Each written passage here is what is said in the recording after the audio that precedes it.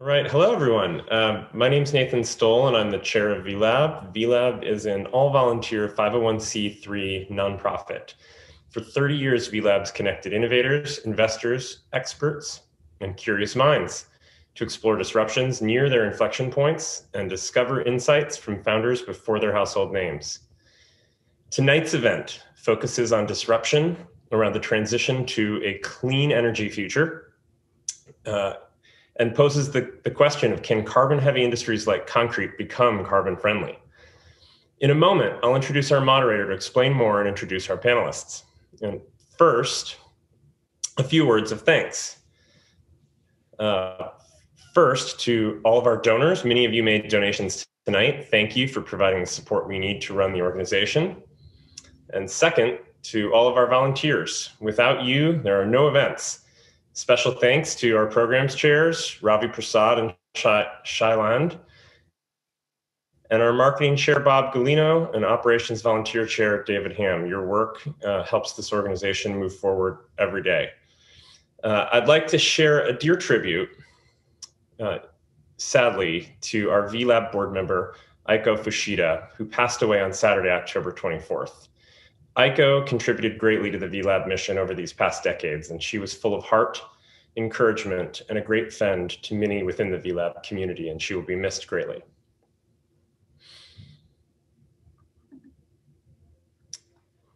Our volunteer event team tonight, I'd like to tell you just how proud I am of the work you've done to bring this panel together it's been a long journey, and you've done an amazing job. So, huge thanks to Shannon Fume, our chair, Bill Paceman, our co chair, and Kevin Chen, Tito Jankowski, and Sunil Sethi. You've done an amazing amount of work, and I'm so excited for our panel tonight. So, I'm excited to be able to introduce our moderator, Marcus Extavour, the executive director of the Carbon XPRIZE. Marcus has worked for decades at the intersection of science, policy, education, and technology development. He also leads XPRIZE's energy, climate, and environment work. He combines his experience in partnership building and strategy with his training in physics and engineering to help lead the transition to a clean energy future. Without further ado, Marcus, please take it away. Thanks so much, Nathan. Um, thanks again to the organizing team. You've done a fantastic job. Um, been looking forward to this event for a long time. Uh, we were delayed a little bit by the events this year, the pandemic, but here we are finally, and uh, the timing is actually perfect. Um, I'm especially interested and excited to be moderating this panel today. We have uh, four fantastic speakers that are really at the cutting edge of probably one of the best, if not the best, examples of this idea of using CO2 for beneficial purposes, um, recycling CO2 into valuable materials, carbon to value, carbon tech, circular carbon. It goes by a lot of names, but the idea is turning this CO2 liability into an asset to try to not just defensively attack the climate problem, but uh, actually recognize that there's a huge opportunity here to remake our economy um, and remake some of our key industries. Now, where the focus for today is concrete, um, I'm going to start by forgiving everybody that's that will inevitably switch the names concrete and cement in their minds, uh, or during the panel, I may do it as well. It's a natural, uh, it's a natural slip we're talking about concrete, um, the hard stuff, not cement, the powder that holds the hard stuff together. Although cement uh, plays a crucial role in this all too. Before we get really get into the topic of concrete, what does it make to embed? What does it mean to make CO2 from concrete or embed CO2 into carbonaceous materials? Uh, I just love to frame the topic in the broader context of climate, climate innovation, and then sort of actually using CO2 emissions. What are we talking about here? Everyone here is familiar with the climate challenge, and you all know it's driven by excess greenhouse gases. Um, CO2 is of particular focus because it's so abundant um, and so persistent. CO2 is very stable. That's why it hangs, hangs around for a long time. Hold on to that stability thought because it's relevant to concrete. Now, we are at a time where more and more we're hearing about net zero commitments, drawdown commitments, and various ways to mitigate our global CO2 problem. I think you can think about the universe of possible solutions to dealing with CO2 in a few different buckets. And I've sketched them out on this slide here. We can reduce our CO2 emissions today. That means emit less stuff. That's things like switch away from fossil fuels or switch from one fuel to another, drive less, increase efficiency, etc. All those things reduce emissions. We, of course, need that more and more as soon as possible. What we're really talking about today is more about reusing, benefic- beneficially reusing CO2. Um, the, probably the leading example here is in the drinks industry. Next time you have a soda, that's possibly reused CO2, uh, or could be. Number three is really the use of CO2. That's recycling CO2 into another value added product. Um, and I think concrete fits squarely there. But there's another important point here, and this is removal. I think our panel will probably get into this, but locking CO2 molecule into, let's say, a carbonate that lives a long time inside of a concrete, uh, an element of concrete, uh, can re- can result in a permanent removal of CO2 from the air or the oceans. And I think that's really the holy grail. It's not the only way, and it doesn't mean other interventions aren't valuable. They are, but it's important to recognize that we have a CO2 problem because we've fundamentally taken too much CO2 from the Earth's crust in the form of fossil fuels and other things, and transferred a whole bunch of it over the last few centuries up into the atmosphere and oceans. Removal is about taking some of it back, even as we engage in those other one, two, and three. Okay, what I'd love to do now is just sort of quickly get from here to how do we get to talking about uh, maybe a new concrete industry made of uh, based of CO2. This is a plot you've probably seen before. It shows where the CO2 and greenhouse gases come from. The point of the plot is that they don't come from just one place. They come from many sectors of the economy. It's not just about the cars. It's not just about the buildings. It's not just about our power sector. The CO2 is everywhere. It's coming from everywhere. The flip side is that means there are opportunities to apply the types of solutions we're going to talk about today in many sectors of the economy. I want you to hang on to that concept. This isn't just about power plants. This isn't just about buildings. This is an opportunity for many sectors of the economy. Um, pick your favorite company that's made a net zero commitment, locate them on this chart. Um, and maybe after this uh, session today, you can start to ask yourself, you know, is there an opportunity for them to use concrete or to participate in a concrete, in a CO2 concrete movement? This is a look, I'm a physicist from another life, so I've got to include a science slide. This is a, actually from a science magazine, a Nature magazine paper published almost exactly five years ago. From left to right, it shows how you can chemically transform a CO2 molecule. Here's a cartoon of a CO2 molecule on the left over to, in this case, methane. And the point they're trying to make here is that you can do it. You can rearrange the molecules, you can break the bonds, you can add atoms, subtract atoms, and it takes energy. The line, the arrow at the bottom of the slide going left to right is meant to show, roughly speaking, um, higher energy content of the molecule. That energy had to come from somewhere, which means you have to add it to the system. Traditionally, people think about converting CO2 into other stuff. And an immediate question is, well, where are you going to get the energy from? And it takes quite a bit of energy, and is it all worth it? I'm pointing this out because the discussion for today, one of the reasons concrete is so interesting is that the energy flow can go the other direction. The carbonates uh, that can be the basis of a CO2 concrete or aggregates or many other solid building material compounds um, is energetically favored or thermodynamically favored, meaning you can go downhill energetically or use very little energy to make that transformation. This is what sets um, the building materials, the carbonate, the concretes apart from many other examples of CO2 utilization or carbon tech. So keep that in mind. Uh, I will go back one slide. Uh, I won't get into the details, but I want you to focus on the size of the circles. Big is better. This is an estimate of the climate impact of turning CO2 into different materials by McKinsey, uh, um, coordinated by the Global Center Global CO2 Initiative, published about three years ago. They looked at a few different materials noted in gray, aggregates, fuels, concretes, methanol, polymers, etc. The big circles are next to aggregates, fuels, which we won't talk about so much today, and concrete. Point being, there's a lot of climate impact here, a lot of climate potential because the size of the market is so large, but also because of the chemistry of actually taking CO2 and embedding it uh, in these aggregates in concretes. So the climate impact is significant of CO2 concretes. Going back a slide, the market opportunity is also significant. This is analysis by Carbon 180, great NGO in this space. They looked at what is the total addressable market. That's the TAM, the TAM they're referring to. Not what could happen in the future, but in 2017 dollars, using known technologies, using known material markets, what's the total addressable market? Across all materials, the answer was around six trillion dollars. Uh, the if you can, it's a bit of an eye chart, but if you zoom in or you download the full report, you can see building materials accounts for uh, roughly a sixth of that. I think. Um, let me zoom in. Yeah, roughly a sixth of that. Fuels is also a huge segment, but uh, building materials is significant. That includes concrete and aggregates. So there's real climate impact. There's also real uh, financial or business impact or business opportunity here.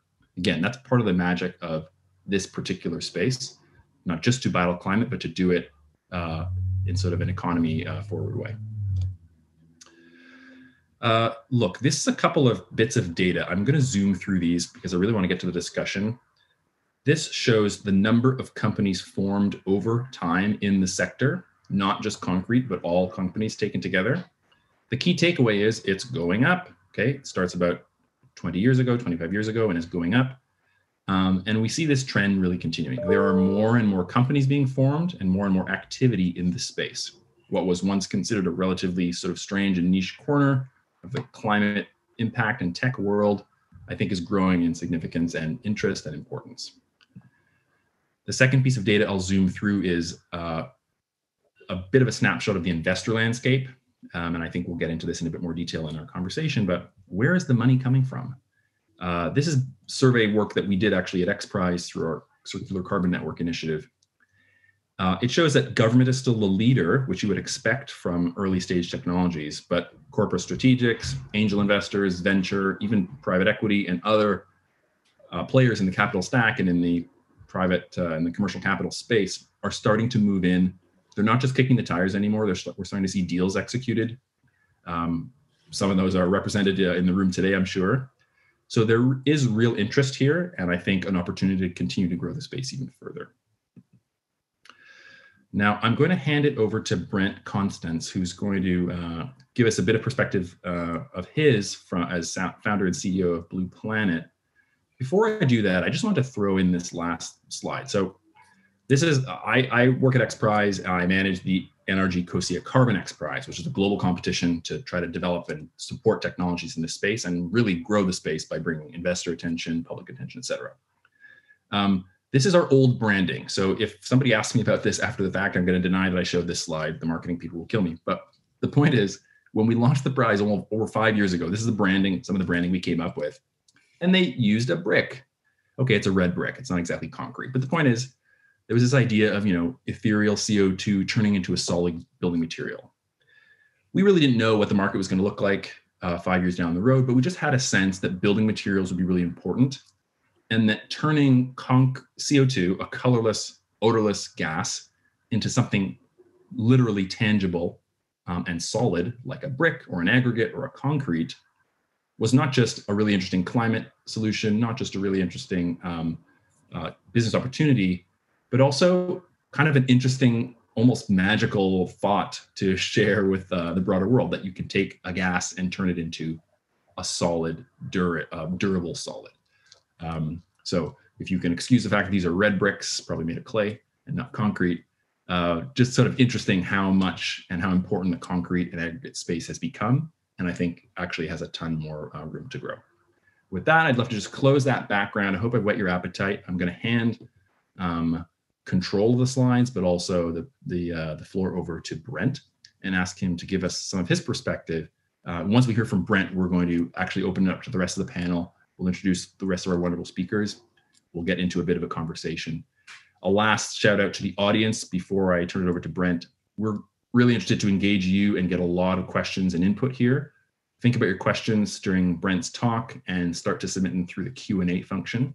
And we'll use that throughout the rest of the uh, the session. So after about 10 minutes, we'll get to the main panel. But for now, Brent Constantz, founder and CEO of Blue Planet. Over to you, Brent. Please take it away.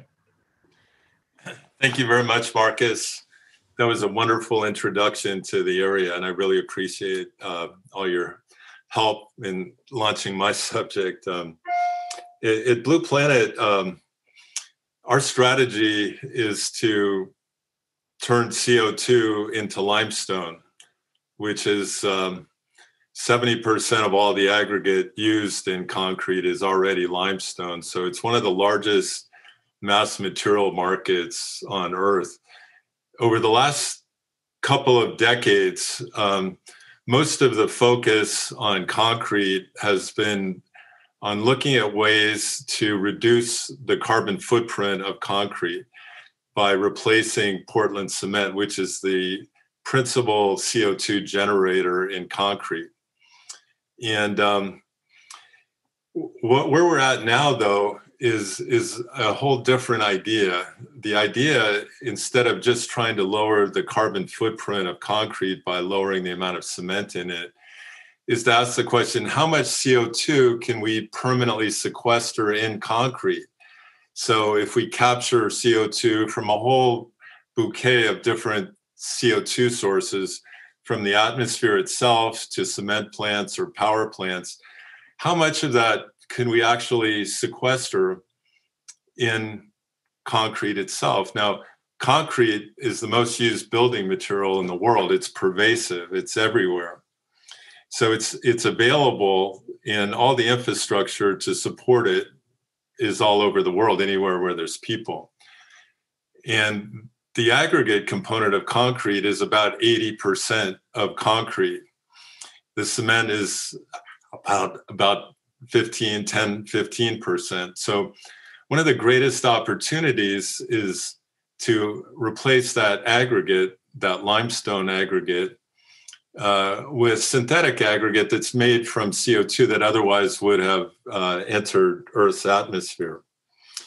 Um, it, it's interesting that uh, other than water, mining of rock is the most um, largest commodity on the planet.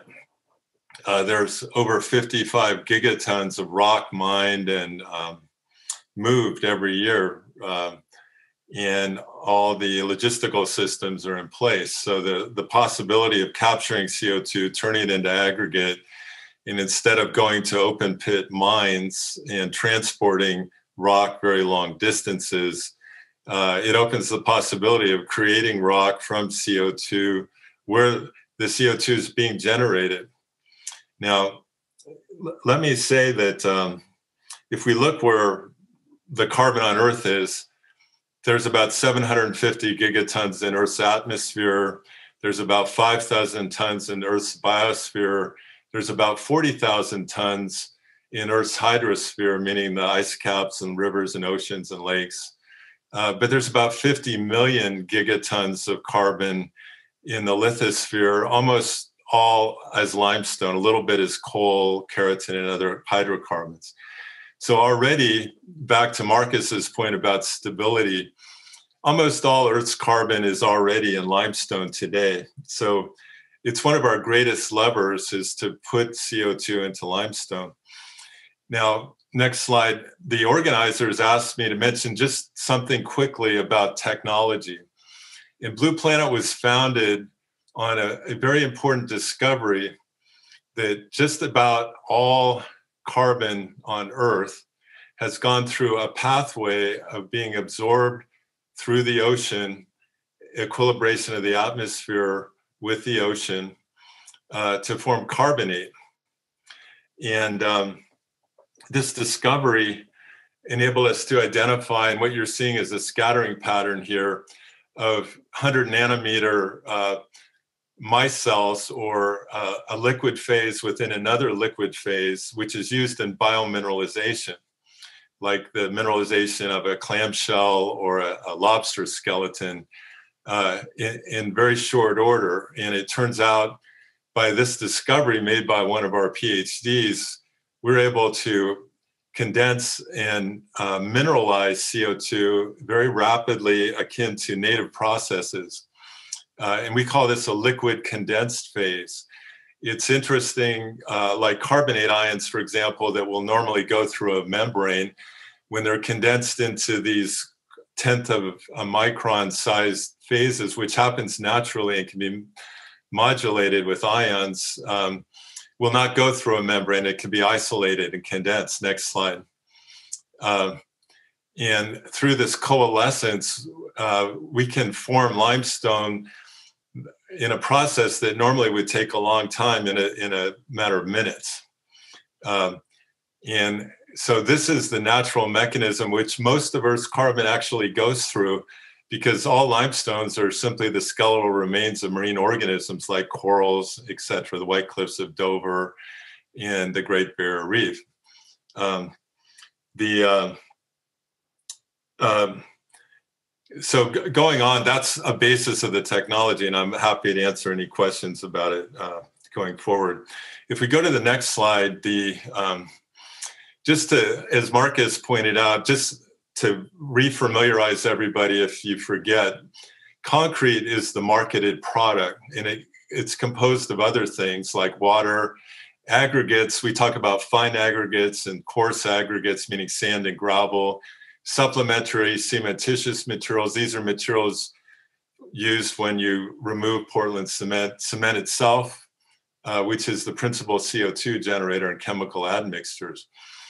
And um, recently, Blue Planet, uh, for instance, um, has announced a, a, major partnership with Mitsubishi Corporation, who will be building Blue Planet uh, plants all over Asia, for example. We have other partners and other continents as well. But one of the principal aspects and um, really incentives to build these plants is not just to capture the CO2, but is to really transform the whole built environment, which again, concrete is the most used building material in the world, and uh, into the place where we're storing uh, most of the CO2. And when you mineralize CO2, uh, similar to the n- normal biomineralization process and form limestone, it's permanent. It's not like refining CO2 into a liquid and trying to inject it and prevent it from leaking out. It's actually permanent sequestration in the mineral.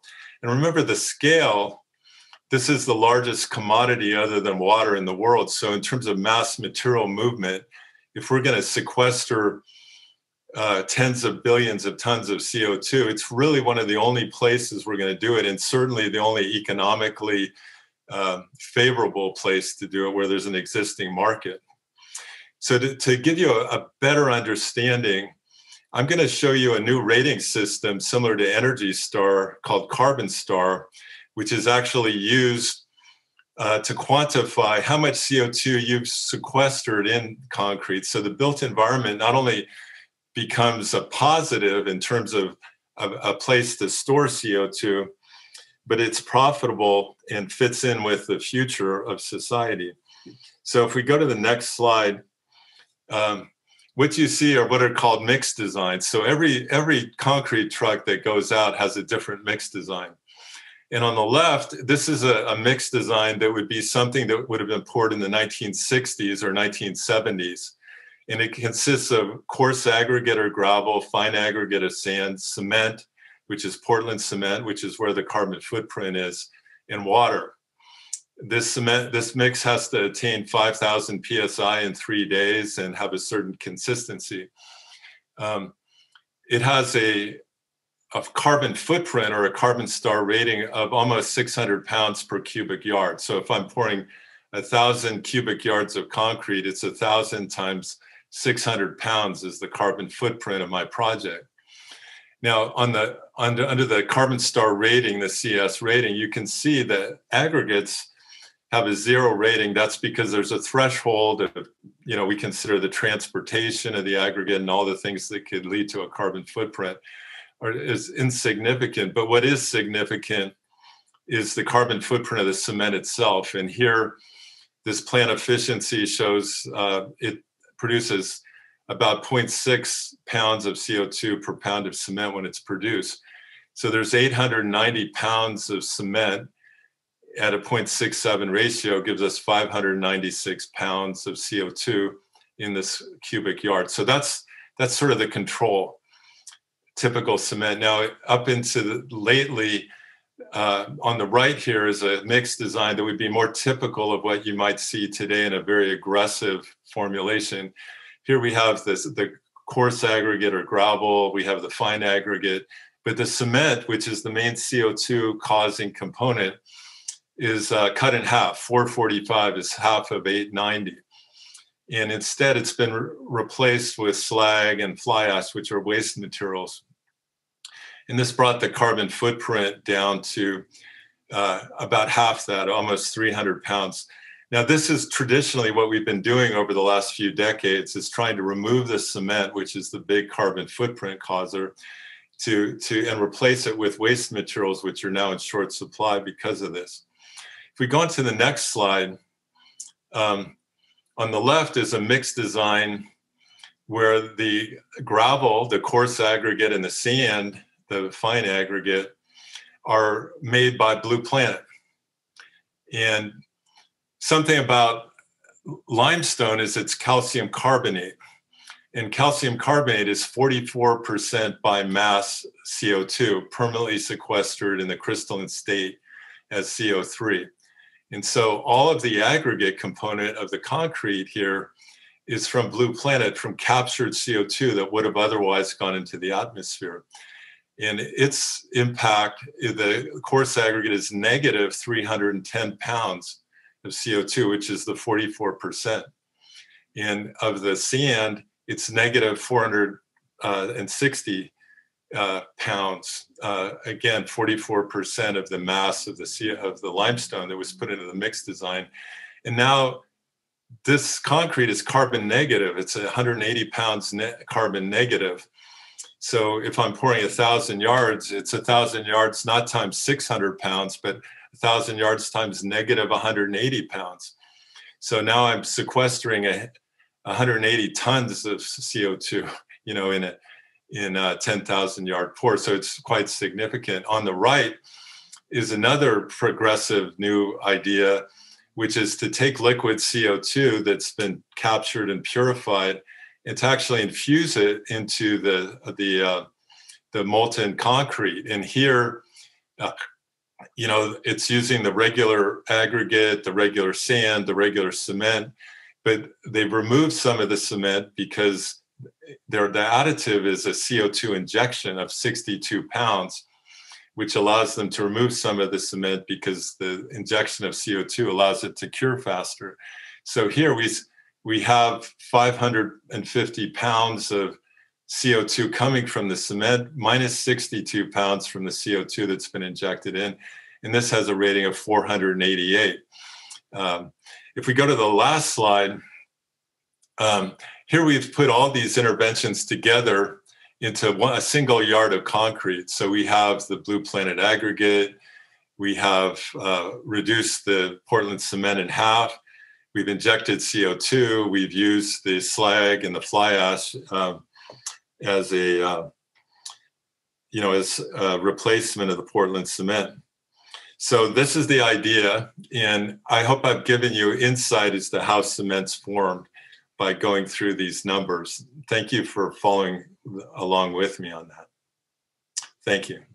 Okay, thanks so much, Brent. Um, really appreciate that. Um, it's always helpful to sometimes we talk about these things in the abstract, but I really like how you laid out um, some of the numerical balances to show exactly where the savings can be and what the what the different constituents of the product can be and how we can attack each of those.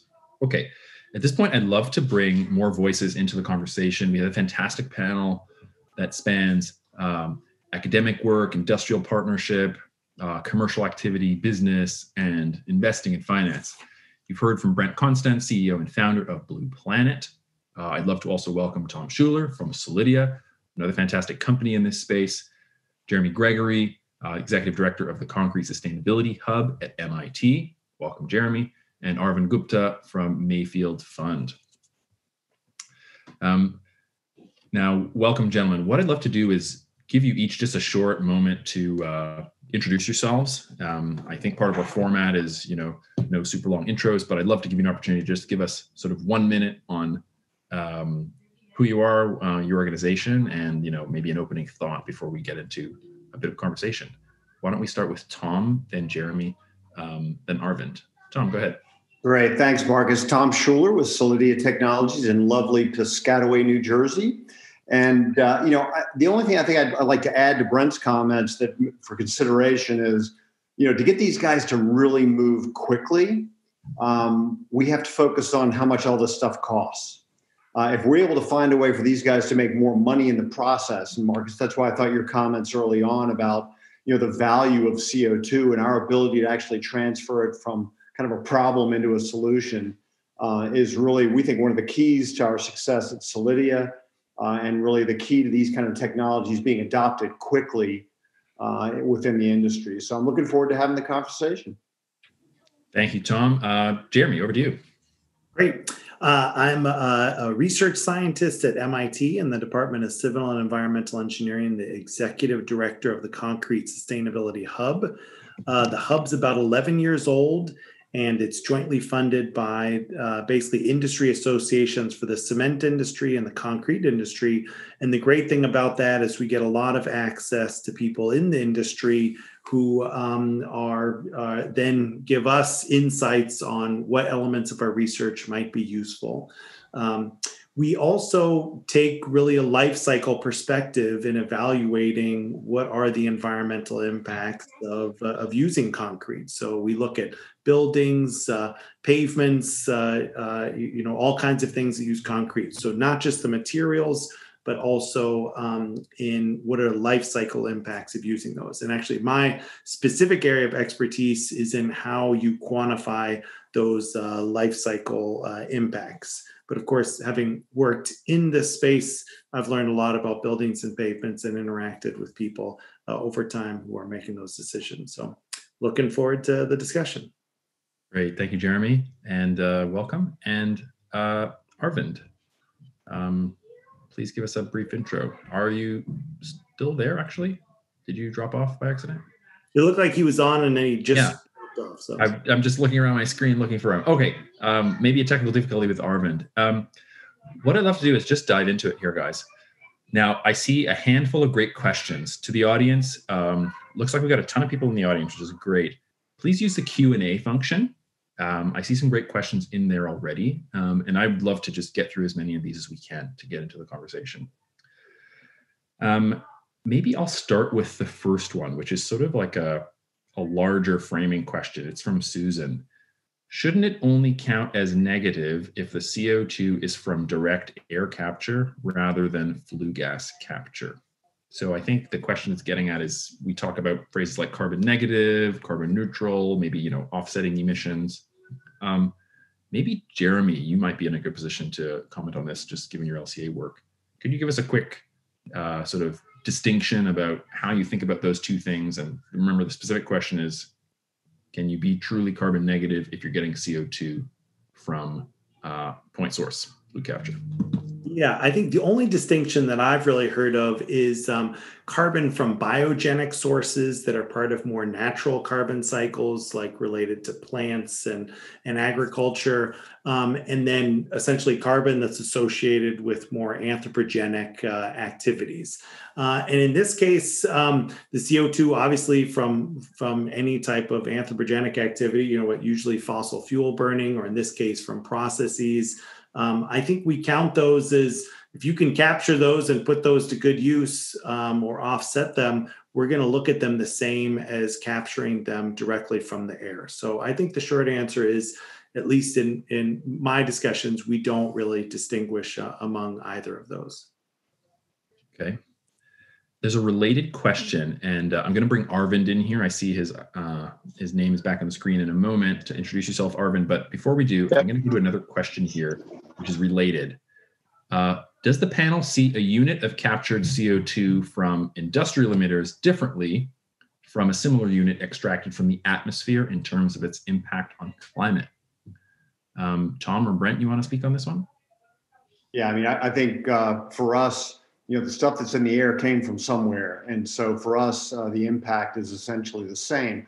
One of the things that that capturing at a source is um, is that it makes it a lot more efficient to be able to bring it into whatever sort whatever use you're trying to apply it to. And we've got to remember you know this thing is is so big that that companies are not going to be able to offset their entire emissions. You know they're not going to try to cover up you know the problem that they've created there are enough other motivations for these guys to reduce their footprints so that you know I, I think we we haven't so far really run into anybody that said well you're just covering up for somebody else's problem which is where most people go Uh, we haven't really run into that because most of the industries we're working with are genuinely trying on all fronts.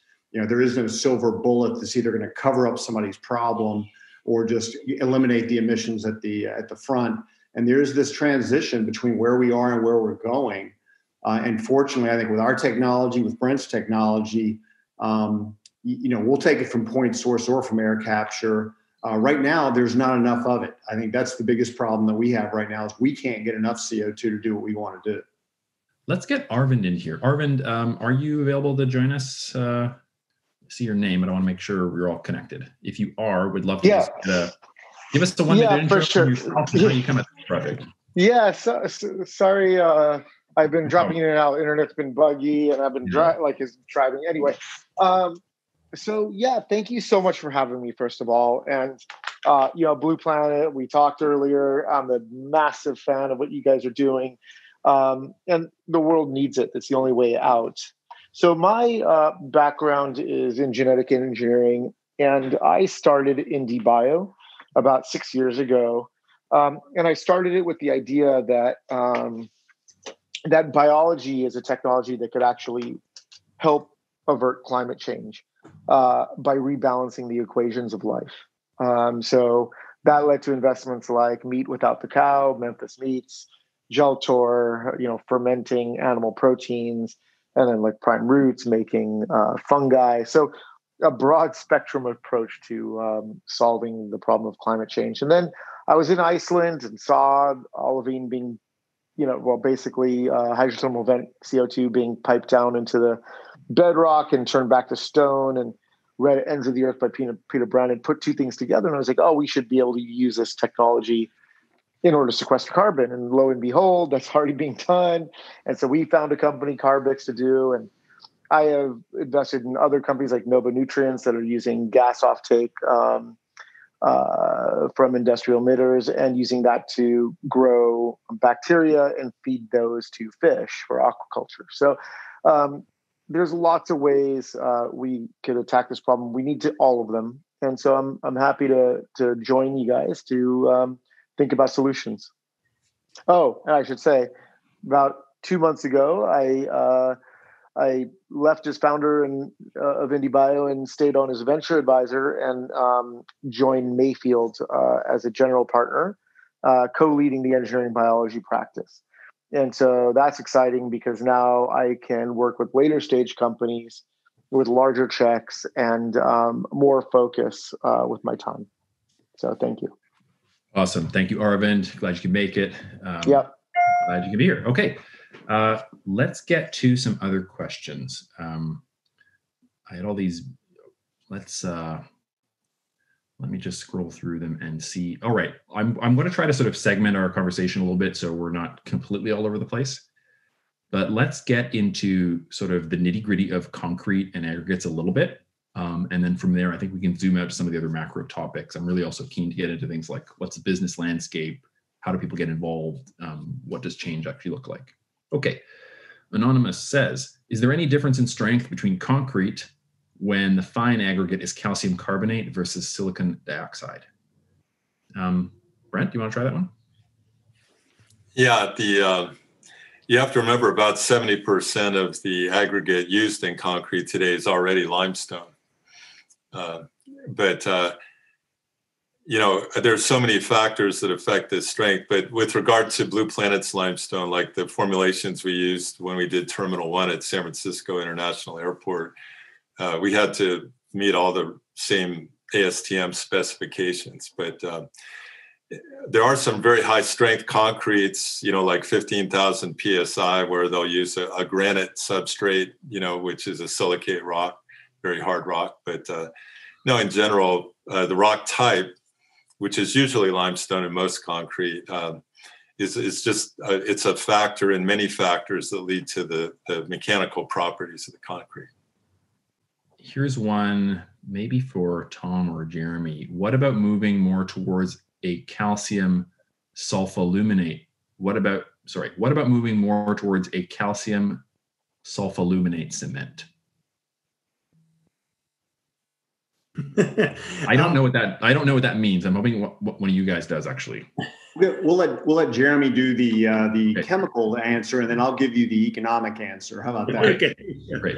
Um, what I so as I mentioned, you know, my expertise is more on these sustainability assessments rather than material science. But having reviewed enough sustainability assessments, I can say there there are many different what we call alternative clinkers. Basically, uh, the way we make cement is generally you know, digging that limestone out of the earth, mixing it with clay, some other stuff, heating it up. Then we get, uh, you, you, know, a clinker out. Sometimes we blend it with some other materials to get a blended cement.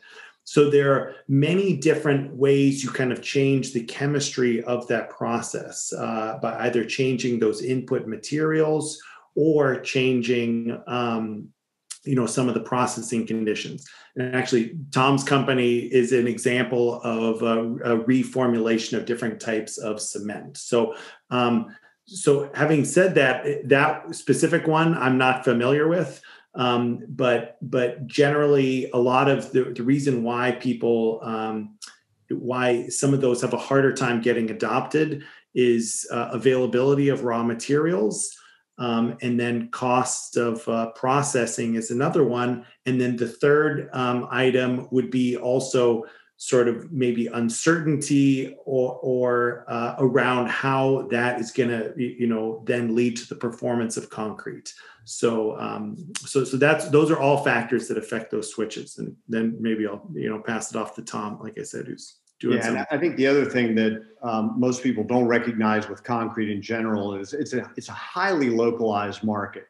So when you talk about raw materials, uh, you talk about cement, you talk about concrete. Typically, it's not shipped more than about 150 miles anywhere, unless you have water near you. It's just not going very far. And so you've got to find a way to be able to access the raw materials that you need uh, as well as the CO2. And drawing that map can get a little complicated. So there, you know, there are going to be different uh, cements that are you know, alternate cements that are really, really good in certain geographies and really, really bad in other geographies. And and uh, the, the beauty of Portland cement is it's pretty much everywhere. The raw materials, by and large, are available everywhere in the world. That's what makes them attractive, um, and that's what has has drawn us to it. Is we we've got a technology that will basically allow you to do this anywhere. It doesn't matter where, where you are, you can do it anywhere. Uh, the particular cement that you mentioned has got a couple of other issues. Um, it's expensive and it really doesn't work quite as well. So when we started the company, the first thing I did was find out, okay, why did everybody else fail? And basically, they all fail for the same reason, right? You either needed a big capital investment, you needed raw materials that weren't ubiquitous, or you couldn't meet the specifications of the process. And the one thing I would add to that is uh, you didn't have market access. A lot of people kind of thumb their noses at the industry, and the industry controls the industry. And if you want market access, um, you got to find a way to be able to work with them as opposed to against them. Yeah, I, I, would just second Tom's point there that um, there, there are many issues around commercializing the cementitious phase uh, that you know like shelf life for example you know i mean if it doesn't have several years of shelf life forget about it. It's not commercializable and many of the new cements haven't been tested. You know i have over 150 patents on cement you know including the cement orthopedic cement that's in most operating rooms that do orthopedic surgery. And i can just tell you you know and i founded Calera and built a big plant to make a really good cement um, but I've come to the conclusion that the way to address cement is not by throwing out Portland cement and starting over. It's it's really by just simply capturing the CO2 coming out of cement plants. And if you do that, you've taken care of the whole problem. Okay, I appreciate that. I'm going to pick up on some of those themes in a minute, but there's a couple other technical questions uh, for Brent, actually. So let's hit these real quick. Okay, how practical is Brent's? This is from Toby Bryce. How practical is Brent's quote ideal mix that includes CO2 injection, CO2 negative aggregate, slag, and fly ash? The carbon star rating is great, but what would need to happen to achieve it in terms of incentives, et cetera? And uh, a follow-on question is: Could Tom or Brent take a stab at quantifying cost relative to a more standard mix? Um, is that question clear to you, Brent? And would you mind? Yeah. Okay. Yeah, absolutely. Um, yeah, so the CO2 injection uh, is from a company called CarbonCure that uh, is out there today uh, providing uh, liquid CO2. So that that's really out of this uh, this carbon star standard, which is being published by the Canadian Standard Association. Uh, not by, it's not my it's not my mix design. It's simply showing how the carbon star rating system applies to a lot of different designs. And, and by throwing them all together, it was simply to show that these different approaches are not incompatible. You know, you can take a lot of different approaches and uh, you know they can be additive. If that were a normal weight uh, uh, concrete rather than a lightweight concrete the contribution from the aggregate would have been a lot different and uh, you, you, could have been down around negative 700 pounds per cubic yard if you wanted to really easily. Um, with regard to the cost um, you know uh, if you look at a say a ton of limestone uh, which is 44 percent CO2 with regard to, say, a carbon credit, if that's what they're getting at. You know, in California, there's about a $15 carbon credit per ton, and 44% of a ton of limestone is, uh, you know, CO2. So maybe it's a $5 credit, whereas that ton of limestone could sell for 50 to $100 in the market. So, you know, it's a mechanism that that's not really dependent on any sort of subsidy to, to make sense. Really, and, and of course 94% of the world has no carbon subsidies and probably never will. So you know it really has to be something that stands on its own. Great. Thank you for that. Um, these are great questions by the way audience so please keep them coming using the q&a function. Can i just follow up on that one? Of course jeremy go ahead. Um, just to say that um, the example is a great one to show you know possibilities of where we can go with carbon um, but the the kind of I think the original question was about like how would that concrete perform? And as Brent showed, like almost certainly it would make you know the five thousand psi strength or whatever it was in there. The, the the tricky thing about concrete is that we design mixtures for many different performance attributes. Uh, you know, so that strength usually we measure it at 28 days, 56 days, something like that.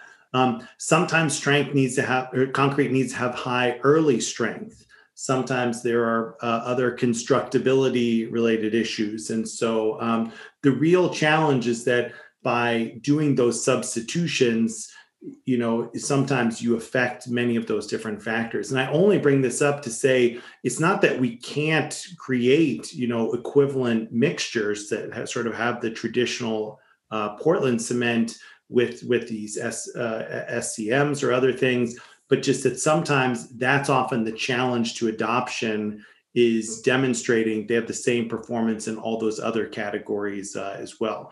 And and that to me is actually one of the things we need to probably work at the most in terms of getting alternative concretes whatever the the derivation is is making sure we can demonstrate that sort of functional equivalence across all those different categories. Yeah. Yeah you know jeremy related to that you know it's as simple as having an extra silo for an extra material at the ready mix plant. That that's a big deal. It is. Yeah, and Marcius, if I could dive in on the cost side, I mean, we we've just assumed from day one that if it costs more, people weren't going to do it. Uh, and I agree with Brent. You know, if you're if you're waiting for uh, subsidies to make concrete successful, you know, I, I can't hold my breath that long uh, and there really are very few in place. So you know we've kind of basically we, have taken the, the, the philosophy from the beginning. Uh, the cement that we make has to use the exact same raw materials, same equipment. We just change the recipe. It actually lowers their cost appreciably, increases their yield, and does all the sustainability stuff with it. You know, Brent mentioned uh, shelf life earlier. Uh, we got stuff we made six years ago that works just as well uh, as it does now. That has a big impact on our ability to kind of launch a new product because you know we can make it in batches, store it, and then have it go up. You know, when you get to the concrete guys, the concrete guys don't have a carbon problem in their minds. And so it really, we had to focus on performance. It had to be on concrete performance and profitability. Uh, we spent more time doing uh, financial analysis on uh, on the concrete, probably more than anything else. And uh, you know, people have been trying to carbonate this stuff for about 50 years, and they did it for a lot of very good reasons. Uh, but they never changed the cement, which is why it didn't really work very well. So the the focus on on cost. I mean, all the studies that have ever been done on on on sustainable materials will tell you, even in a place like you know Sweden, Germany, you know where they have high value for sustainable products, you might get a five percent price premium if you're lucky, and only if your products are equal to or better than. So uh, we just kind of developed a sense of urgency that you know, if we're going to do this quickly, we've got to fit inside a, a box that's relatively small. Uh, but we think we've pulled it off, and and uh, guys are beginning to embrace it. But it, it's you know it's tough sledding, man. These guys. I had a I had a very senior leader in a concrete company tell me a couple of weeks ago. He goes, "Man, I'll die over a quarter a cubic yard." So don't yep. come in here and tell me it's going to cost more. It just won't work. They won't adopt it. There's no motivation to do that we don't have enough Leonardo DiCaprios who will, you know, go buy all the Priuses in the world. These guys are laying concrete and they and they're making razor thin margins, and they're just not going to adopt the new stuff on a broad scale quickly enough to have the kind of impact that we want to have. I think that's really true, Tom. I think there's one big transformation going on, though. I think the owners and specifiers, including, you know, like Caltrans in California, are are driving the bus and and what the what the carbon star rating has allowed them to do is when they specify concrete they're not only specifying 5000 psi but they're specifying a carbon star rating of zero say. And and they're ultimately the decision maker. And so i agree with you completely about the ready mix operators. They're operating on penny margins sort of like the concrete block guys. But if the specifier or the owner uh, specifies a carbon footprint, like say their goal is to have a carbon negative complex, which you know many companies have set goals like that, which they're having to meet. I can give you an example here in Silicon Valley of a very large complex that's recently been launched. The specifier specified a carbon neutral complex, and the, the concrete companies just had to comply, or else their bids wouldn't be accepted. So you're seeing that kind of change, which can really come from uh, governments as well in their procurement. Uh, like you know, we have our Buy Green uh, initiative here in California. If if governments are specifying carbon negative, carb, low carbon, carbon uh, sequestered concrete in their projects, that's what's going to happen because if they want to bid on the project, they have to meet those goals. Okay, this is great conversation. I want to take it from now to get to some of our other questions into a little bit more on uh, why do people want to buy this concrete? How does it fit into existing concrete markets? How does sort of the business side of it work? Um, there are a lot of questions here, and you guys are kind of taking it there. Before I do, I'm just going to answer one question real quick. Um, panel, tell me if this is not the right answer, but I think it is. Christian Butzlaff says, if you inject CO2 into the concrete, how long does it stay? Does it get released back into the atmosphere over time? I think the answer is no If you make a limestone or stone or stable carbonate, the idea is it should more or less last forever, or at least forever on climate time scales. Yeah, but Marcius, that's like the number one question we get out of European customers. Is, is it going to come back out? And you have to tell them, no, it gets ripped apart. And unless, you know, we go up to 900 C or so, it's never coming out again. And if that happened, then we all got much bigger problems. Okay. Yeah, probably a small percentage, not not in Tom's process, but a small percentage is lost, you know, when they're injecting it. But once it forms calcite, you're done. It's the White Cliffs of Dover. It ain't going anywhere. the, the only exception to that is, you know, uh, Brent mentioned that there's a the the carbon cure process that's being used in ready mix production, at least under currently that's injected just directly into like a, a concrete mixer truck and because and they intentionally do that because it's easy to just modify those existing processes but not all of that CO2 can get directly into the mm-hmm. truck. So because that's not in like a, a, you know sort of manufacturing facility like what uh, Tom is using, um, that's different. And I'm not saying that's means it's bad, but it's just because of that that they that's how they're currently doing ready mix at least. Um, but once the CO2 does get in there and has that chemical uh, transformation, then it's just like they said, it will stay. Okay. Now, people in the audience, keep these great questions coming. I see a lot about incentives, policy levers. I'm not ignoring those. I want to get to those in a moment. But let's talk a little bit about the industry and business. Um, And uh, this might be a place to bring you in as well, Arvind. I'm sure from IndieBio and other places, you have a lot of experience with. We're talking about new technologies, a new innovation space, trying to transform uh, a gigantic and mature industry. Uh, in this case, concrete being one of the most extensive and largest. So there are a couple questions that kind of get get at that direction as well. Um, here's one that's a little specific, but I think we can take it more broadly. I think the question I've lost it, but I remember the question was something like, um, limestone mining business is already a significant revenue stream for a lot of companies. Why would they choose a CO2 based alternative? Does that mean they have to give up a new revenue? Maybe I'll, expand the question to um, how do concrete companies make money doing this? Is this something that costs them that they do because someone says it's a good idea or because they're pressured? Or how specifically, like what specifically is the business opportunity for, for instance, a larger company to adopt Brent's technology or Tom's technologies or products? Help us understand that. Well, there's two prongs. Um, you know, if I own a cement plant, I'm concerned about that million tons of CO2 I'm putting out every year you know, and I only have so many options to to address. If I can just turn it into rock with all the Portland cement I'm sending to the concrete plant, I could also s- send that CO2 sequestered rock, which is a pretty elegant way for me to deal with my CO2 problem. Um, I, but you probably are, are, aware that you know that it's really uh, more about transportation. That's how they, you know, it's not about digging rocks out of the ground and making a big margin on the rock. It's about beating the, the delivered price and the transportation. And if you make the rock locally instead of like in Northern California where you bring it down from British Columbia, uh, you know, most of the delivered price of the rock is in the transportation. And so that's that they're like big trucking companies. Okay, interesting. Um, Arvind, do you want to comment on the sort of the broader challenge of how do you move uh, a gigantic legacy industry?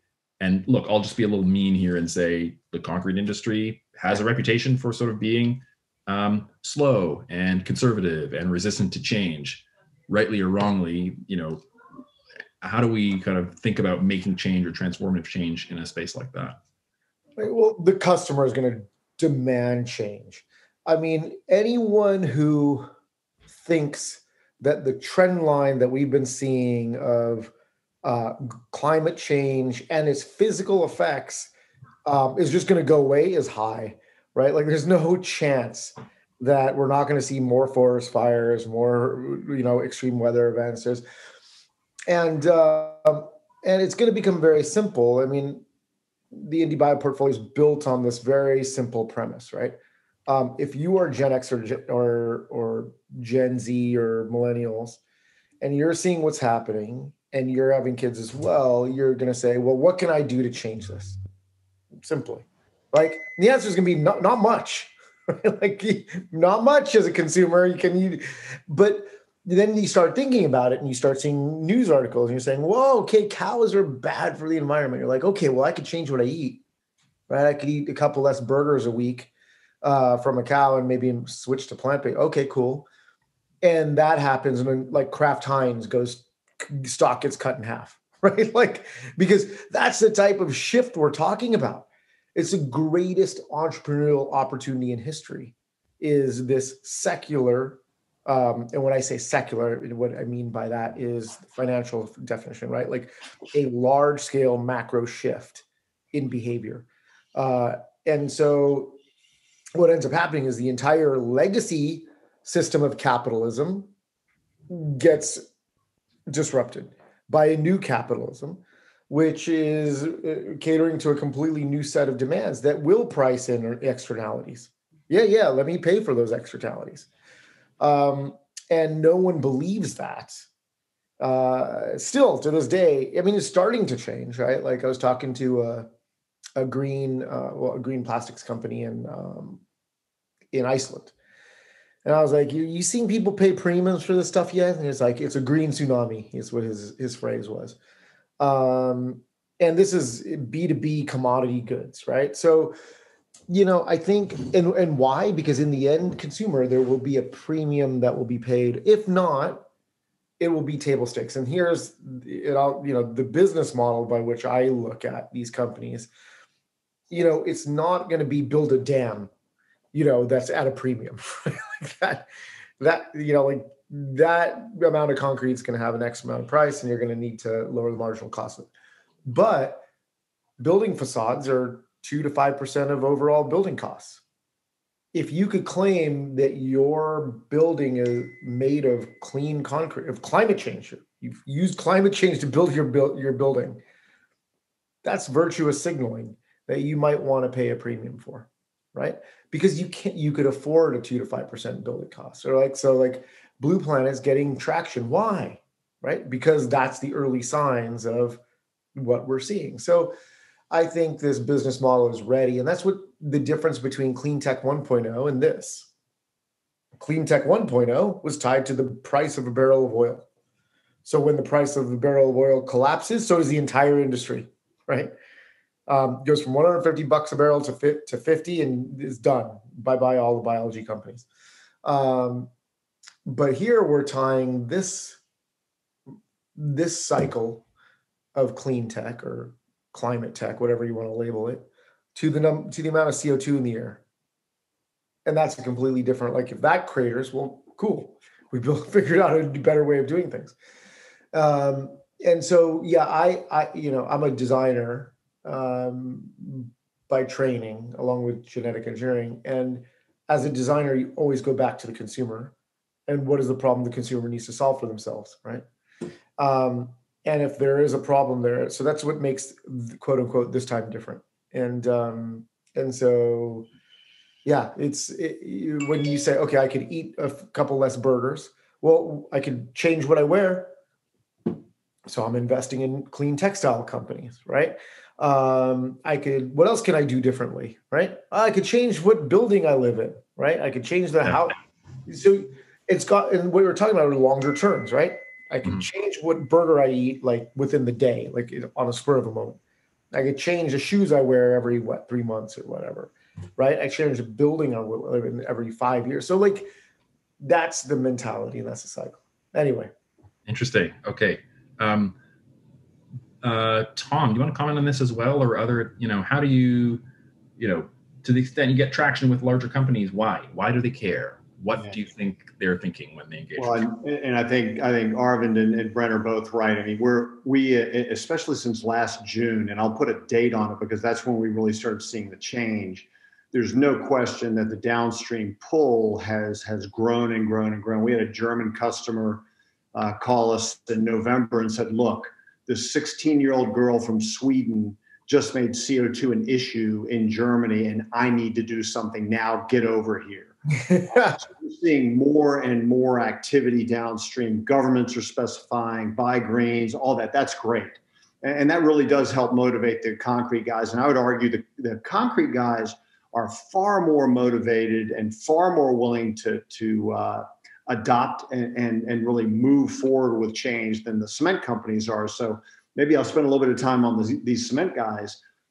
You, you, know, a year ago, I had a guy tell me, he said, well, we're just going to pass through all the, these carbon effects and, you know, it'll just go into a higher price and life's good, you know, off we go. Uh, that has completely gone away in the last year. Uh, the rise of ESG, uh, a couple of cement companies getting downgraded because of their exposure uh, to carbon costs. You know, all of a sudden, the CEOs of these big cement companies have said, um, okay, I guess we should actually probably do something that's not just annual report fodder. And so we've seen a marked change uh, in the number of cement companies uh, address, uh, approaching us uh, because they're looking for uh, you know a real change that they can measure right? It can't be something that you do a hand wave and it goes on the annual report because people are paying attention they're going to measure it. You know the concrete guys really justified based on performance. Um, in, in our case we've got a very simple chemistry and it allows for better quality better productivity. Um, it takes care of some of the problems concrete's had for a long long time. So they really are addressing problems that their customers have had and just one last story we did a bunch of market research uh, with one of our partners in the mid Atlantic region. And we had kind of, you know, efflorescence, durability, all these concrete things. And then sustainability was the last one on the list. And what we found out in talking to contractors and consumers was that we were dead wrong. that the sustainability factor was as important as the number one functional benefit and it was largely because people they, they don't know how to get their arms around climate change. And i think arvind this is a little analogous to what you were saying. They don't know how to deal with climate change but they can make the decision to eat less burgers to buy that concrete that's got the right kind of aggregate in it to specify something for their yard so they can show their next door neighbor uh, and that was a uh, the owner of the company we were working with said, you know, he goes, I figured everybody would be a tree hugger within five years, but it's happening right now. Uh, in a large part uh, due to the, the tone coming out of Washington, it's actually caused this reaction uh, that's incredibly favorable in the U.S. Yeah, I, th- I think that's right. The uh, you know, there's a lot of large organizations setting quantitative goals. You know, so uh, it's not just Microsoft or Amazon, for example. You know, Lafarge Holcim recently announced their goals for 2030 and 2050. You know, largest cement company, but it's also governments like the state of California. You know, has set very strict goals related to the Global Warming Solutions Act of getting this state from 500 million tons a year to 400 million tons a year. And I, I think I think what they're realizing is they're actually looking at the numbers. You know, the state of California is trying to shave 100 million tons a year off of its total carbon output, right? Well, the state of California also uses about 240 million tons of aggregate every year. And to make 240 million tons of aggregate, I need 100 million tons of car, 105 million tons of carbon dioxide. So you know, I, I could get to the state's 2030 goal just by taking the rock they're already buying and bringing in from British Columbia and Mexico and Nevada and make it into limestone and using it in the project. So it's really a matter of scale also that they're getting quantitative about it. Okay. Just like Microsoft has done in their projections. I want to go to Jeremy with a related follow-up question that just came in, and Arvind might want to comment on this one too. Um, we've heard that the oil and gas industry for the last 20 sorry we've heard ah, we've heard stuff like this from the oil and gas industry for the last 20 years and we're only now seeing them start to change. How long do we really think it will take cement i guess concrete companies to really buy in i.e invest? Uh, Jeremy, you want to comment on this one? And this is great. I, I was just a comment. This allows me to make comment. I was going to build off of what the others were saying as well. I think the thing to keep in mind about the cement and concrete industry is they respond to what their customers are asking for. And the reason I mention that is that when it comes to making decisions about what kind of concrete goes into a project, it's not the cement companies or frankly, really even that much necessarily the concrete companies who are deciding, right? Like, let's say for buildings, architects, engineers, contractors, and owners of those buildings are really, you know, um, uh, shaping what, what what kind of concrete is used there. And so, I, you know, I often say if we're going to make a shift, we need that whole team on board, and they need to go to the concrete suppliers and say, hey, we not only have a goal of making sure this concrete keeps our buildings safe and resilient and things like that, we also want it to be low carbon. And I think, um, like Tom was saying, they're, they're pretty innovative and ready to go, but you know then then they need to also say here's the cost implications of that. Here's the contractor implications of that.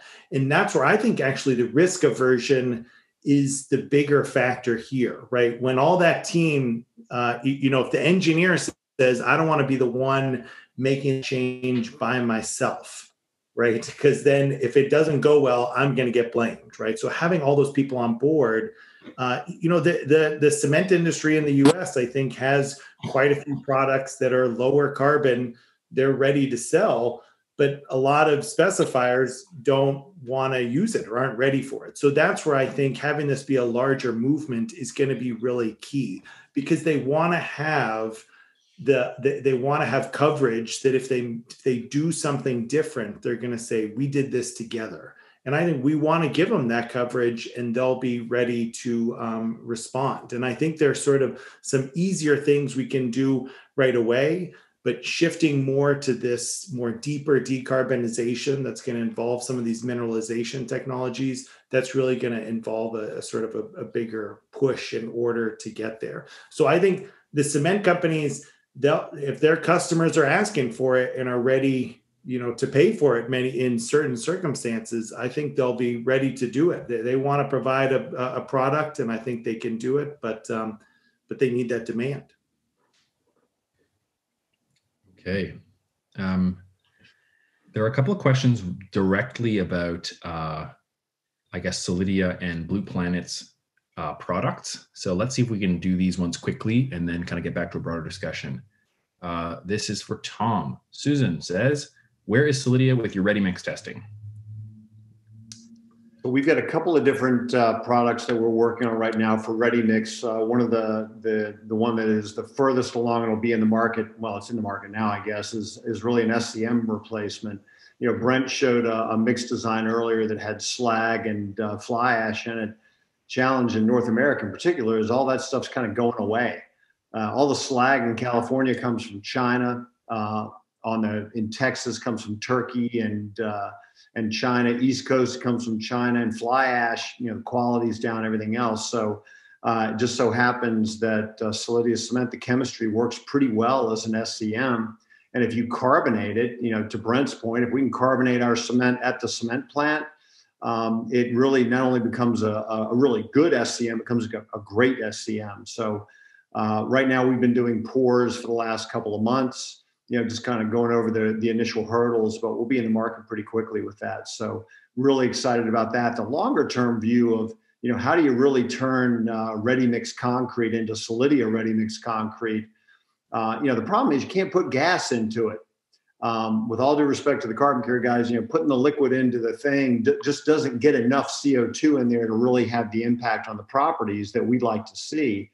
So we have to figure out a way to introduce it as either a solid or a liquid. And we think we figured out a really cool pathway to get there uh, that actually could get us to a point where uh, it's carbon negative. But you know, that's that's a that's a five year play, not a not a next year play. Okay. A quick one for Brent. Is Blue Planet concrete available all over the US today? Can we buy it?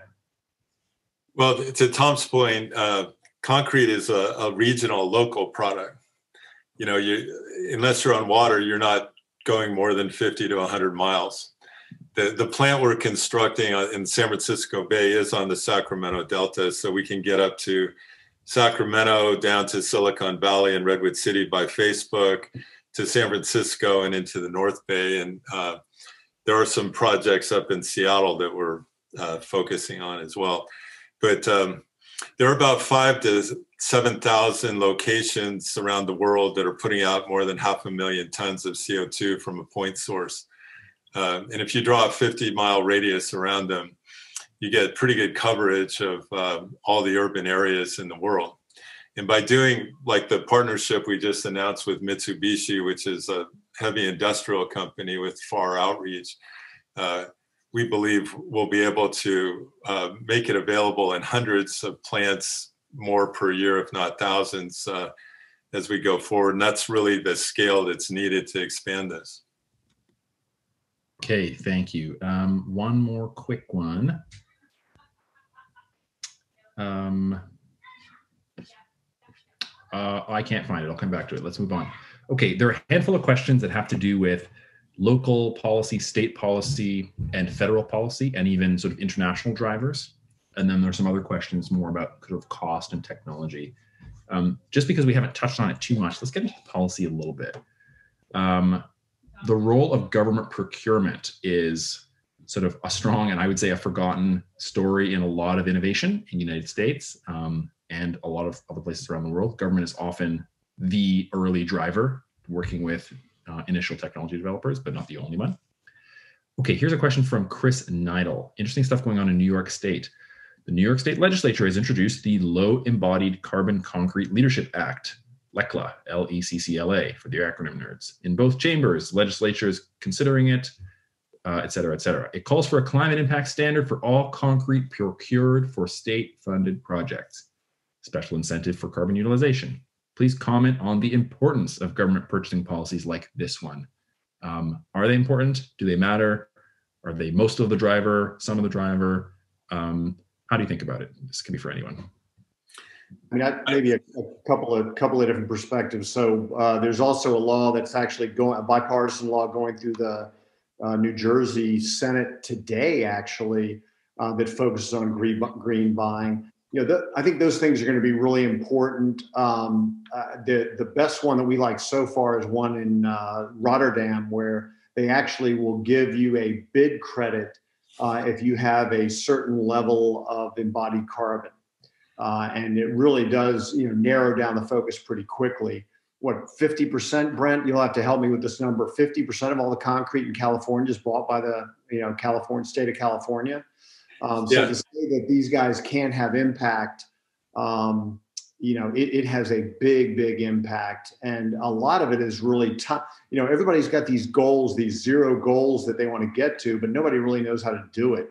So putting these policies a bit ahead of the technology and the volume, quite frankly, we think is going to help pull along the technologies uh, because it really forces our downstream customers uh, to adopt uh, you know new strategies much faster than they would have normally. Yeah, the ones that are going to really drive things are these revenue neutral uh, mechanisms like the low carbon fuel standard. You know, um, that's why the oil companies have invested in direct air capture and all that. You know, they're getting the LCSF credit of two hundred dollars a ton. That turns their effective price of, on oil from fifty dollars a barrel to one hundred and fifty. You know, it's brought them in there. So it's been very, very uh, effective uh, in in driving um, dri- driving the the whole whole market forward. Yeah, if I, if I could just um, comment Please. on that, I um, there there's a lot of these different types of procurement bills um, that are being moved through, and I've spoken with Chris about uh, his bill in uh, New York, and which is a, a great example. Um, I think that on its surface, using government procurement to select low carbon products is a great idea. The challenge with concrete comes back to the comment that I made earlier that um, you know not all concrete is the same we kind of we can have infinite combinations of the the constituents that we saw uh, you, you know brent showed and the performance is is going to be you know slightly different depending on which those mixtures that you put in. So i can create a low carbon mixture that's for this 28 uh, day you know strength um, but you know it might not meet meet the certain job requirements. And so um, so there's still some details that need to be ironed out in terms of how you actually do procurement for concrete. Um, but having said that i think it can be done. And the great thing is that you know i end up speaking to a lot of people who are putting these things together. They want to do it. They they maybe don't appreciate it at first when it's proposed but they're learning. And i, I think it's something that we we we, we can um, we, we can get there. Yeah, in, in California, uh, you know, because of the success of the low carbon fuel standard, the next thing on the list is concrete after liquid fuels. And the, there's already a low carbon concrete standard being developed uh, here in California that will ha- have the same revenue neutral mechanism. Anyone want to comment on federal policy? Um, not just because there's an election coming up. Um, so that, that was part of a broader question and also read a related question. Um, why aren't government subsidies on the table, says Anthony Westling. Political will seems to be there. Is it a question of marketing and messaging as to just how significant the mitigation potential is? We could mandate that all highways must be built with carbon sequestration, sequestering concrete, right? So, what about government subsidies and comments on the role of federal uh, policy? Uh, you were going to jump in, Tom, but anyone? Yeah. yeah Tom, Tom, then Jeremy. Go ahead. Jeremy. Okay, I, I just think that um, you, know we we have all kinds of examples of subsidies for um, you, you know solar power, wind power, things like that, and I absolutely think that if we're really going to do deep decarbonization within this sector, we're going to need those same type of subsidies, and and that's actually one of my recommendations usually for those procurement bills. If let's let's include that uh, as well to make sure that we can move the uh, needle. So I think that's the key thing. In terms of federal procurement, there is you know no reason to think of that the GSA when they're doing construction that they couldn't take advantage of many of these same policies that states are. So absolutely, I think that should definitely be on the table. Okay. I mean, we, we originally, when we started looking at trying to influence the government to put in subsidies, you know, you run out of money as a startup before that happens. So, uh, but I, I, think that that environment's changed a little bit, uh, and we're actually seeing some things being put in place, even at a federal level, to encourage purchase of of stuff like ours. I think one of the things that you'll hear a lot of companies, and uh, Brent, I don't want to put you in this basket, but you know, we're we're both in a position where we've got a technology that we've demonstrated it works and the question is, how do you expand it quickly? How do you have access to that capital uh, to be able to make it so that Brent can do his stuff on the East Coast and on the West Coast and, and in Texas? You know, we've got the same challenges. How do you get that? You know, that capital availability to be able to enable some of the things that we've talked about. You know, Brent mentioned uh, putting a silo in a cement plant. There are people that won't adopt new technologies over a hundred thousand dollar silo.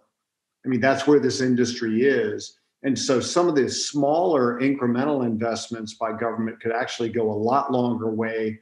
Um, maybe some of the big bets that uh, people like to place because they like placing the bet on the big shiny ball. And concrete's not a big shiny ball. It is, you know, we're concrete New Jersey, not sexy. Yeah. One, one, one of the issues right now is, you know, so with the 45Q credit, um, there's a, a protocol in place for the geologic sequestration of CO2 for the $50 a ton. You know, uh, same with CARB, there's a, a, a, protocol in place in the California Resources Board under the LCSF for geologic sequestration of CO2. There's not one for carbon mineralization or putting carbon in concrete. So there's an effort now to develop a protocol for carbon mineralization so that like right now 45q is up in the Treasury Department at the IRS, and the IRS is trying to figure out, well, okay, if 70% of the CO2 injected into the ground stays in the ground, then we'll give them 70% of a credit. You know, and those are the kind of discussions uh, that, that are that are occurring right now. What, what we're seeing actually is uh, there's a lot of movement, federal, state, provincial, all over the world. Um, today. But where the real action is is in the the the 40 mayors, the 40 cities, which is now many more than 40 cities, and you can move fast in a city.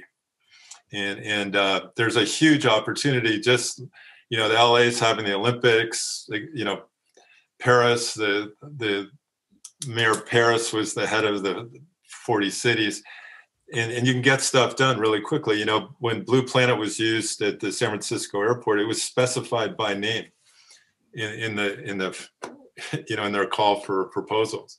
So, so uh, you know, cities can do a lot and and move things a lot. Okay, um, we have about ten minutes left. We still have a strong audience. Uh, so let's move into sort of the lightning round. All that means is I'm going to keep uh, asking these great audience questions, but I'm going to ask you all to keep your answers short so we can get through as many of these. Two phrases I want to key on, and I'd love to bring Arvind in here. One, access to capital. Two, India and China. These themes have come up. Access to capital. Is it really about access to capital? Do we need to make the technology cheaper?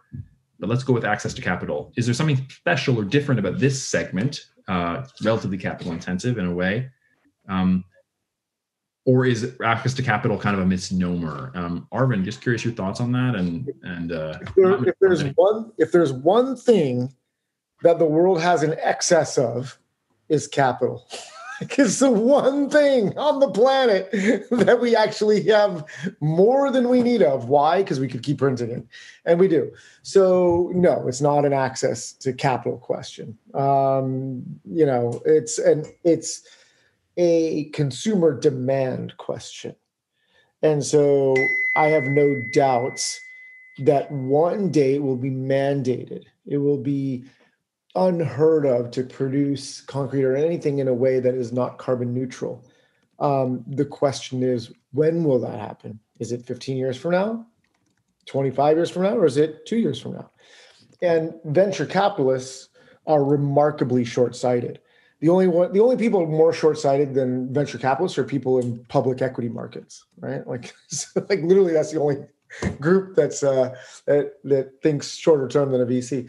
Um, and so VCs will always place money where they think they can get a return within seven to ten years. And so, um, as the Greta's, as the young generation continues to voice um, their demand for change and, and for products that can change the way things are, VCs will continue to pour cash into those areas. Um, you know, it's it's really like that's that's where it's coming from. So like from green steel, right, there's green steel companies now, right? Like um, to green concrete to new ways of feeding our fish, right? Like like I mentioned, right? To the new ways of feeding ourselves, all using um, carbon, methane. Someone asked about methane. Yes, there's methanogens that could be feedstocks, things like that. So anyway, um, it's a lightning round. So that's it.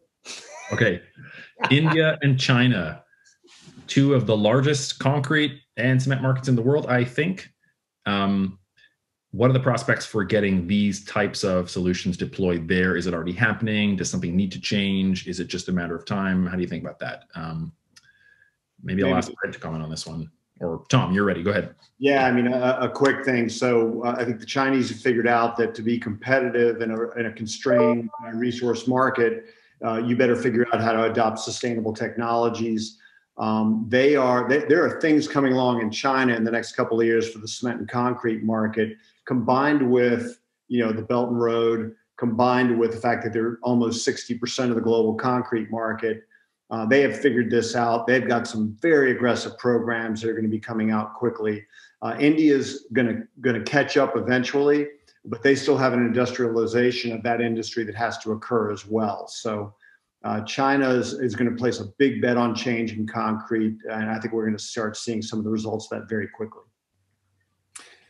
Yeah, I would just say uh, Blue Planet's uh, partnership with Mitsubishi Corporation is focused on China and Asia. I mean, that's, you know, other places in Asia too, but, um, you know, we, we recognize that's the big nugget. And we need to get out there in not just a few places, but many, many places. And it's going to take that kind of industrial partnership to get out there and do that. Hey, I see a question come in. Um, is there a way to test new concrete formulations at scale to address the performance market barrier? Um, I'll, I'll, step in here. I'm going up to Calgary next week because uh, in the Carbon XPRIZE, they were in our testing phase now. We have a couple of companies making concrete, and part of what I'm going to do is gather a few cylinders because we're going to crush them, uh, which is like a, a, standard strength and uh, compressive strength test that we do in, in the industry. Um, okay, I'm going to keep Okay, but can, can I say, you know, with a lightning yes, answer to that, the the biggest challenge though is demonstrating durability of different solutions. Because obviously, durable concrete, you don't want to wait around decades to find out how durable it's going to be. So, although you can do that, those short term strength, uh, you, you, know, developing new new methods to do those long term durability tests in a short amount of time is a big opportunity. I have some gray hairs spent trying to think about how to do uh, durability testing in a short time scale, which sounds like an oxymoron. Um, okay, we have permission to go a little bit longer. We're going to transition into breakout rooms after 7.30 for people that still have time and want to hang around and discuss. Um, let me say we'll take an extra five minutes to go to 7.35 in the main session, if panel is okay with that. Um, I know we're into the evening, so I appreciate this. Um, here's kind of a different one, interesting. Siva Uppalapati says, are there carbon capture technologies at consumer level? For example, you can have rooftop solar. Uh, is there anything at the home or car size that can use to, I guess, capture and maybe use CO2? Um, anyone want to comment on that? Anything out there? Is that relevant to concrete?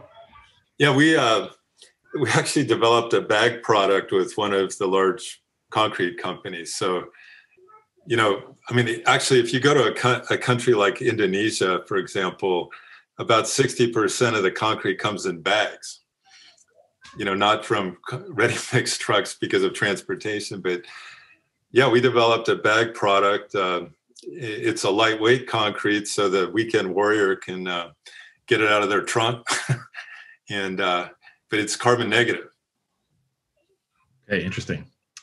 Uh, also, a different question. Uh, most of the R&D for CO2 conversion is focused on catalyst or the conversion process itself. But do the panelists want to comment on other types of hardware or equipment design that are relevant to this space? Is there in, are there innovative equipment designs, maybe in sort of balance of systems, that can help bring down costs or energy requirements or sort of drive up other efficiencies? Any thoughts on that? I mean, just just the, the whole idea of how the heck do I get the CO2 to the cement that, that I'm trying to convert, or the or the chemistry that I'm trying to convert, whether it's a powder, a solid, uh, you know, whatever it is. Um, that's probably where we spend most of our effort is really trying to find optimized ways of of getting that CO2 next to that uh, cement so that they can uh, make some magic.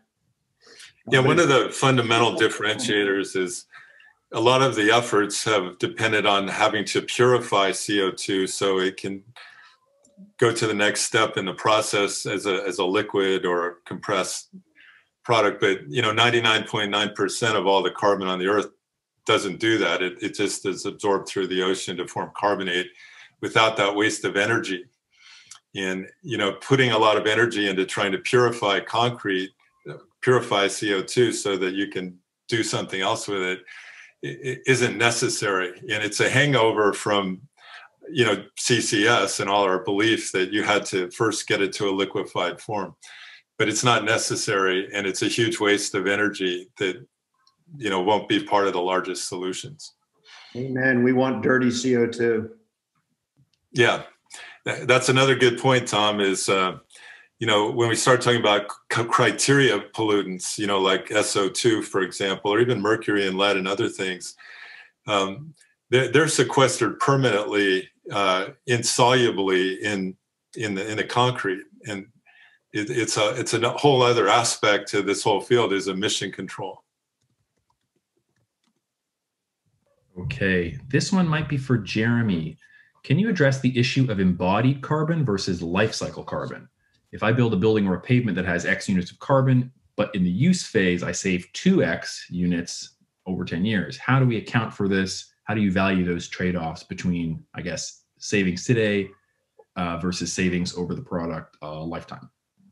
Yeah, sure. Yeah, it's an excellent question. And certainly, we obviously we don't make concrete just to have it sit around we use it in our buildings and our pavements and so thinking about how it actually contributes to the life cycle impacts of those structures is really important. So, for example, in buildings, most of the environmental impact of buildings is going to be associated with the operational energy consumption, cooling and heating that building. So, if you can if you can design a building that minimizes that that uses the materials in the structure to minimize those those operational impacts that can be a you know quote sustainable building even if you're using a high, even if that has a high embodied impact. Now, the great thing about the solutions we're talking about here is that you can lower the embodied impacts of the materials while also uh, using the concrete to lower, say, the the uh, energy consumption of the building. So, um, and indeed, I'd say you know the architecture community for a long time or, or building community focused on lowering energy consumption, and it's really in the past few years they said now we need to also shift to this uh, embodied carbon. And so which is just associated with production of the materials so finding ways to do both is important.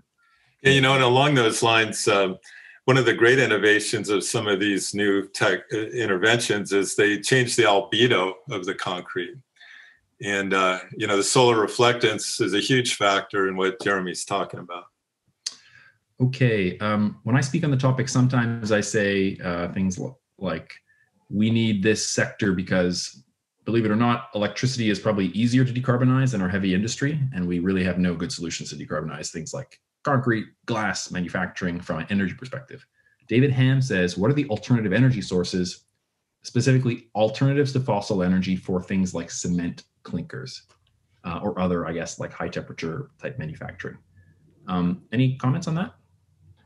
Yeah, I mean, I can tell you right now, basically, to produce cement, you need fossil fuels. Uh, you know, the uh, um, well, let me take that back. You need uh, uh, uh, carbon dense materials, and so that's usually going to be uh, often it's coal, but uh, now there's a shift to natural gas. The the other uh, fuel stream though is becoming what they call alternative fuels, and these are often waste fuels like tires and other forms of waste as well.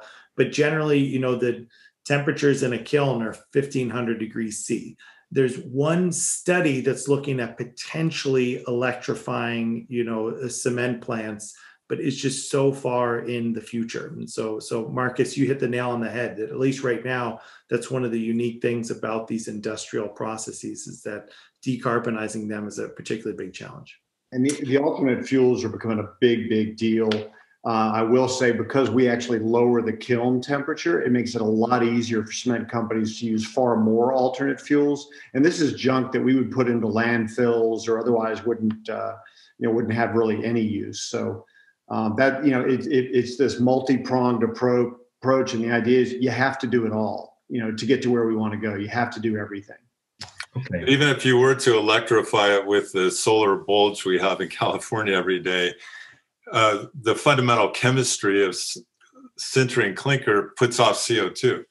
So, you know, and that's half the story. So uh, you're always always going to need to capture CO2 from cement plants. The energy is only about a third of the overall footprint. So that's a great point. We often think of energy as synonymous with CO2 emissions, but um, you know that's that's just not always the case. Okay, we thank you for going over time. I'm going to ask one last question. First, I just want to acknowledge there are a lot of fantastic questions in the Q&A that we haven't had a chance to get to. We're kind of overflowing with questions, which uh, I'm sad we can't get to all of them, but I think it's a testament to this great panel today. Um, there will be uh, some breakouts. I'll hand it to Nathan to explain how that works if we want to continue the convo. But let's just zoom out for a second, and this is for the whole panel. We're talking about a new industry, a growing industry with massive growth potential to solve one of the greatest challenges on earth in one of the largest existing industrial sectors. A lot of great ingredients are there. If you're speaking to a young person or an investor or just anyone that's interested to get into the space, uh, what are one or two pieces of advice you might give them? Um, and we can go around the horn on this. Maybe I'll ask uh, Arvind to kick it off. What would you suggest for someone that's thinking, "Wow, I love this panel. You know, I want to get involved. What do I do? Where do I go? How do I get started?" So, you know, it doesn't matter what you do, um, you could be involved. And whether you're an accountant or a chemist, a chemist, right? There's a place for you in a company or a place for you to start a company um, to be involved in in getting these types of technologies to market. And so I think that's the key. And it's it's easy to like always talk about the scientists or always talk about like the you know the ceo and things like that but like anyone could be involved um, literally and make an impact and make a difference in um, in these types of companies. So i would say go you know do some quick google kung fu um, find uh, you know a list of companies that you think are interesting and um, and talk to them. You know startups are incredibly easy to contact um, you generally just email someone that their emails on the website. They're designed to be easy to reach you know? Um, and you can and you can get to someone that will uh, usually the ceo um, and so i think like that's one place to start. If you are a scientist or if you are a um, entrepreneur that wants to start a company the world is literally swimming in in money.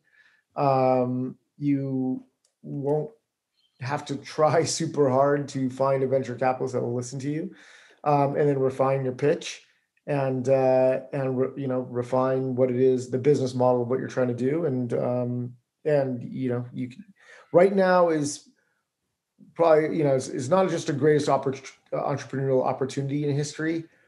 It's probably a moment in i'm talking about like go back to roman times right? Like um that much money and um, and optimism really for these new technologies. Uh, so yeah, now's the time to do it. I love the vision. Um, Jeremy, you want to? Uh, what would you say to somebody that's interested to get more active here? Yeah, I think the more that I say sustainability, the more I think it's almost entirely about behavior change, and that maybe seem seems obvious when we talk about recycling or vehicles and commuting, but in this case, the behavior change is really on the part of those people that are specifying the concrete. And like I said, that often ends up being engineers, um, uh, contractors, folks like that. Now, for them to really, and, and as I said, when it comes to concrete, the stakes are high, right? So I understand risk aversion when it comes to making change, but they, but, but obviously, when it comes to climate change, we can't afford to just wait for these things slowly to happen. Um, so the number one thing is just how do we create more demand for these products? And that usually is going to come from owners. Owners asking specific they know now to ask for a green building but a green building doesn't necessarily the people associate that with LEED right? They need to get more specific now saying what's the embodied impact of materials so when owners start asking that that'll filter to the architect to the engineer the contractor. Um, so in my town we're redoing our high school. I got involved asking those questions. Now now that whole process is, is taking place and that's a little bit unique maybe but people can start asking those questions about projects that are happening in their town. That's the kind of thing i think that creates nudges that lead to then the behavior change I love it because uh, it makes it local too. Uh, Brent, do you want to go and then last word to Tom? Oh, sure. I, I, would just tell young people go find what inspires you. You know, Blue Planet's a small company, but most of the people here came to us. You know, and you'd say, "Why would you leave that great job you have?" And they say, "Because I know what you're doing. I think it's going to change the world, and that's where I want to be." And whatever that is, you know, if it's in government, whatever, university, a startup, you know, don't be shy. Go out and just find it and do it. I love that. Tom? Yeah, and I think it's an environment, and just just to be additive, it's an environment that really didn't exist a couple of years ago for people that really wanted to get involved. If you just look at our company, we don't just hire material scientists and civil engineers. Our last couple of hires were data analysts, programmers, sensor guys, people that know how to deal with artificial intelligence. So there is a role for everybody in this, uh, in what we think is going to be a revolution for this market.